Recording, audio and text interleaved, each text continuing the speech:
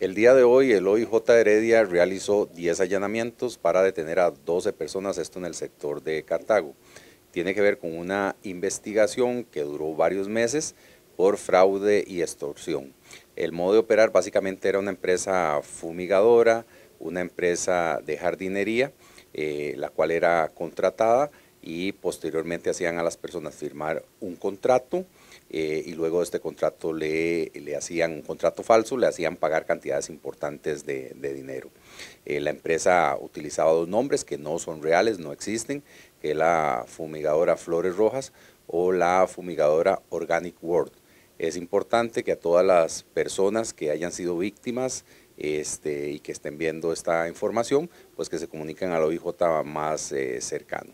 Importante decir que en el allanamiento de hoy se decomisó alguna indumentaria eh, que utilizaban estas falsas empresas, además como equipo que utilizaban para hacer este tipo de extorsión y amenazas. Las personas detenidas serán presentadas al Ministerio Público para lo que corresponda.